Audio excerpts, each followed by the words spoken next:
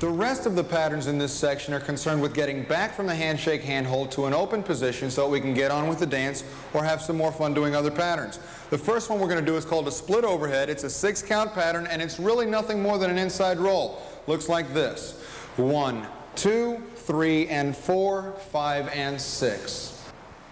While the inside roll was discussed already in level one, we're going to go over it very briefly because this is a somewhat different pattern. Ladies, as always, starting with your right foot, you have two walking steps forward. One, two. On counts three and four, ladies, as you're tripling down the slot, you're going to rotate to your left 90, 180, then another 180 degrees. Three and four. Finish the pattern by turning to face the gentleman or opening up slightly as you triple five and six. Note that sometimes during your anchor on five and six, you will be required to keep moving away from the gentleman. The gentleman's footwork for the split overhead is nothing more than the footwork for an inside roll. However, we will review this as well. Gentlemen, on count one, hook the left foot behind the right and rotate 90 degrees. On count number two, step together with your right foot.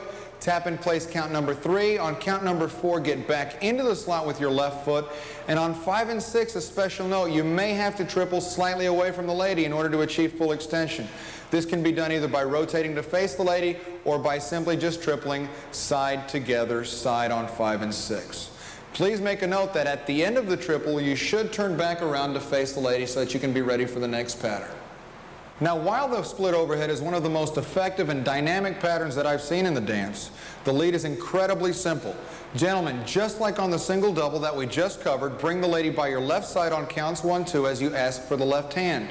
One, two. On count three and four, gentlemen, you're going to take both hands over her head evenly, keeping them close together. And at the end of the spin, simply take your right hand over your head as you take the left hand over her head. At this point on count number four, gentlemen, release both hands as you triple away.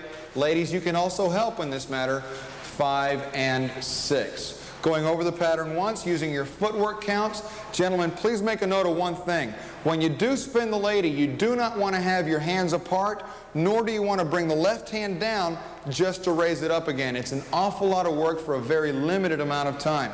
Keep the hands together. Let me show you once. Keep the hands together as much as possible, and then just split them at the end of the pattern.